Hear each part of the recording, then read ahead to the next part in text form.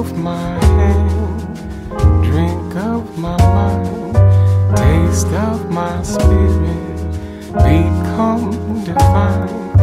Come into me, into the place.